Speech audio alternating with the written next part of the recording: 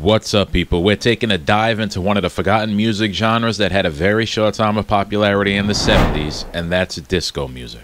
It's not completely dead, just like any other music genre that's not as popular anymore, but nobody is really wearing anything like this anymore and going to the disco club on the weekend snorting coke. Well, the first two things I said are true. Some things never go out of style. These are going to be some of the greatest disco songs of all time. You've probably heard most of these, but maybe there are a few you haven't heard or completely forgot about. At first, I want to stay away from some of the big mega hits because I think I've used a couple of them in other videos, but if you're going to talk about disco music, then some of these are just unavoidable. I'm talking about songs like I Will Survive by Gloria Gaynor, but I do think that I've used that one before, so I'm going to stay away from it for now. Also, some of these blur the lines between genres. Some of these aren't pure disco, but can also run over into R&B, soul, and funk genres. Anyway, let's get to the disco songs that I will be using in this video. This is the time I wish I had some props like an afro, doofy big sunglasses, and gaudy gold chains, but alas, I try to make myself not look like too much of a fool. Slightly. Up first is a song that's in a classic comedy film that you should watch if you haven't already because it's one of the greatest comedies you will ever see with one of the greatest comedians you will ever see in Rodney Dangerfield. I'm, of course, talking about Caddyshack, the first one. The first one. This song was actually inspired by another movie with Diane Keaton called Looking for Mr. Goodbar, where her character is lost in life and goes to clubs every night to just dance away the sadness. That's what I do in my mind every day. I'm dancing right now. It's so much fun. Although this sounds like a happy song, pay attention to the lyrics because it's not. It takes its cue from the movie and is about a person on the verge of destruction. You can take solace when you watch Caddyshack and see Rodney Dangerfield doing his thing in his happy dance to this song while insulting everyone. That might cheer you up a bit. The song is Boogie Wonderland by Earth, Wind, and Fire from 1979.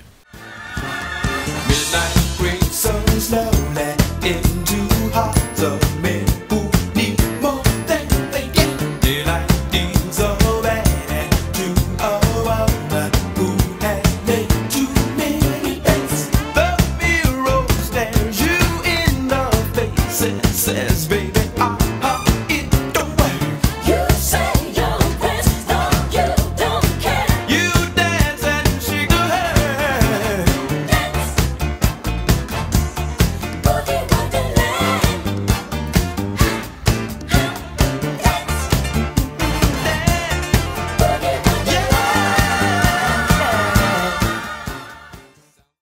Now we come to a singer that had a couple of bangers from this time that I love. She was never a huge celebrity, however, she was signed at the young age of 15 years old when she was working with her mother, cleaning a bathroom at a recording studio.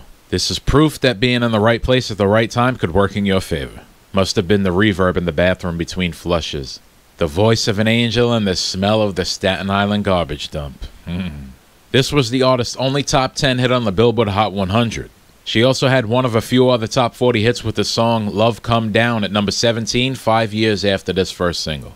It was also a huge success in the UK, being the biggest selling transatlantic 12 inch single at the time, and it was also the biggest UK hit to not enter the top 20. It topped out at number 39, but also stayed on the charts for 23 weeks.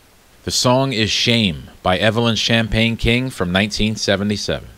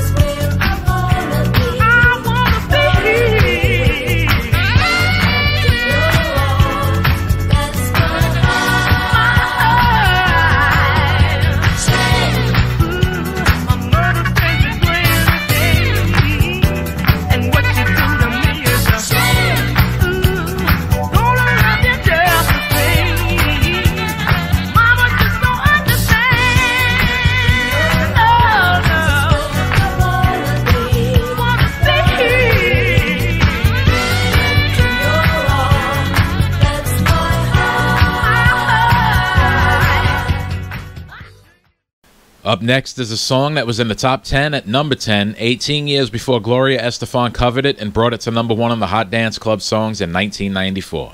This is this singer's only hit song. She had a few songs that charted in the 70s, but none with the success that this song has endured. She also did background vocals in the song Fame by Irene Cara that was in the iconic 80s movie of the same name. She also had numerous roles on Broadway, including in the shows Hair and Jesus Christ Superstar.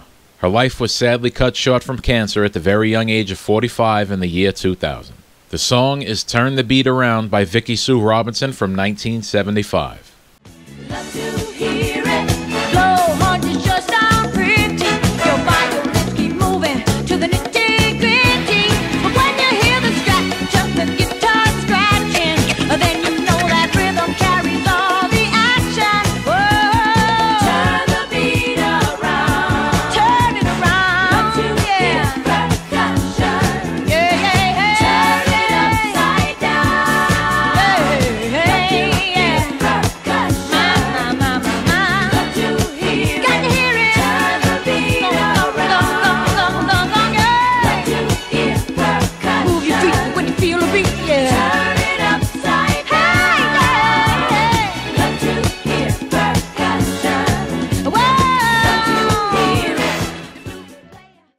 This one is our first song in a series that technically counts as a post disco song. It's just at the end of the disco era, winding down from 1979 to 1986. It's still disco. The foundation of this disco song is built on what many disco songs are built on, and that's a great bass line. It's also built on a contrary idea to the usual breakup, and that's moving on and realizing that there is a tomorrow. This was actually their first hit song in 16 years after they formed the band, so they had to wait a while for some success. Their biggest hit came in at number 7 eight years later in 1987 with the song Rock Steady. This song came in at number 19. The song is And the Beat Goes On by The Whispers from 1979.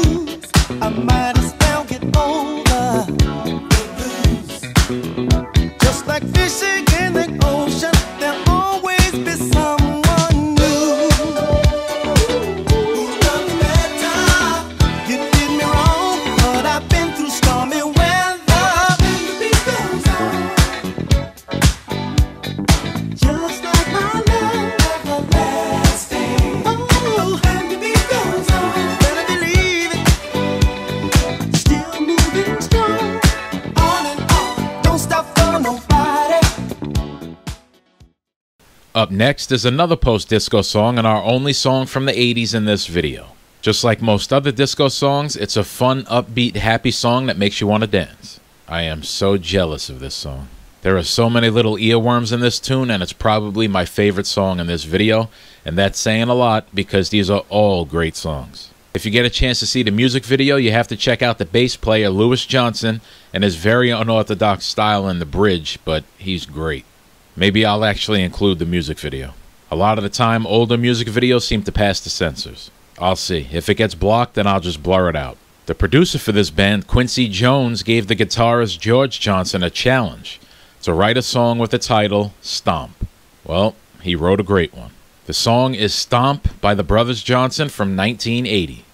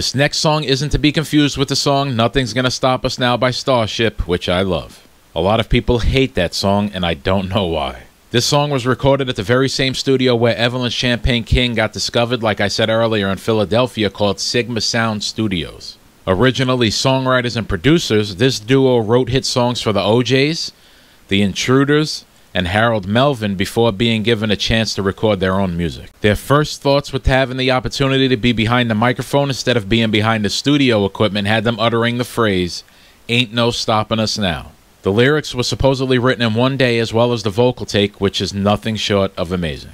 The song is Ain't No Stopping Us Now by McFadden and Whitehead. There's been so many things that's held us down. But now it looks like things are finally coming around. I know we've got a long, long way to go. And where we'll end up, I don't know. But we won't let nothing hold us back. We're putting our show together. We're polishing up our act. And if you've ever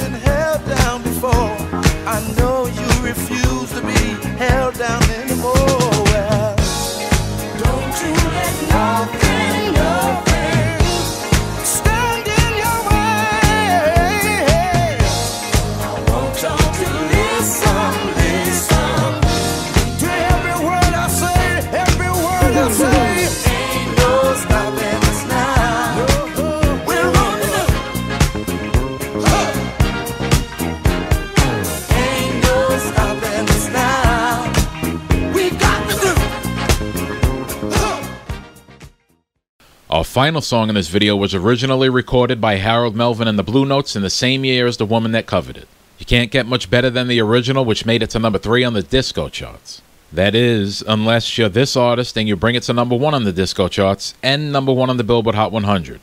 This is the only number one song on the Hot 100 in this video.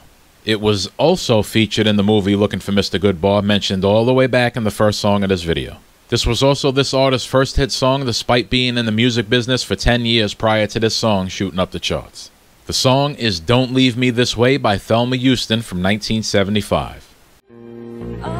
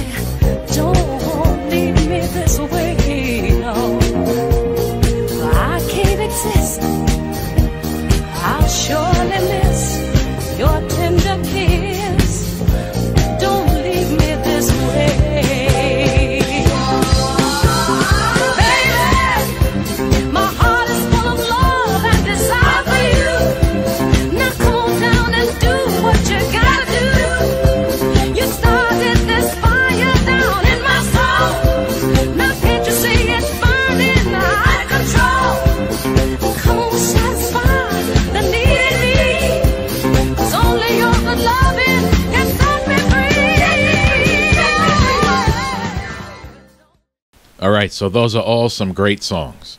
This was an era that gave way to 80s music, so how can I be mad that it wound up spawning my most beloved pop culture decade? But there should have been no reason that songs like this still weren't being written and performed well after the 70s.